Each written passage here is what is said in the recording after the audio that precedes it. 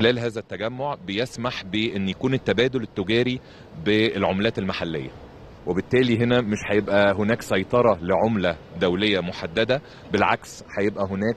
فرصة لتبادل التجاري ما بين الدول وبعضها البعض من خلال العملات المحلية. الشيء الأهم هو التركيز على عملية شراكة ما بين الدول الأعضاء في مشروعات تنمية صناعية وتنمية زراعية وخلافه وإن يبقى دي كلها مشروعات مشتركة بتحقق الاكتفاء الذاتي من السلع الرئيسية في الوقت اللي إحنا كلنا شايفين العالم